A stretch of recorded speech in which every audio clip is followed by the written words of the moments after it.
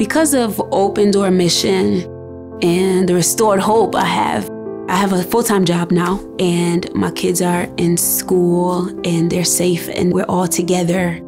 When I look in the mirror today, I see a mother who is trying very hard to help my family maintain stability. I just see hope, I see victory.